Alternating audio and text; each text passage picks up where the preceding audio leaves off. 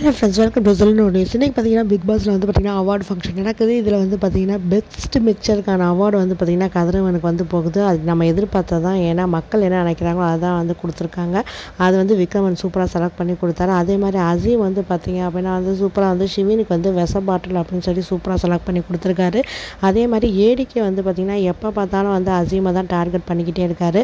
அசீம்க்கு கொடுத்த அவார்டு என்ன பார்த்தீங்கன்னா ஓப்பனிங்லாம் சரியாக தான் இருக்குது ஆனால் ஃபினிஷிங் சரியில்லையப்பா அப்படின்னு வந்து மைனா வந்து நக்கலாக வந்து பேசுகிறாங்க அந்த அவார்டு வந்து வேணும்னே வந்து ஏடிக்கு வந்து அசீம்க்கு கொடுத்துருக்காரு. அசீம்க்கு பயங்கரமாக கோவம் வந்து அந்த அவார்டை வந்து ஸ்டேஜ்லேருந்து வரும்போதே தூக்கி போட்டு வந்துட்டாரு. ஒரு பரபரப்பை ஏற்படுத்தி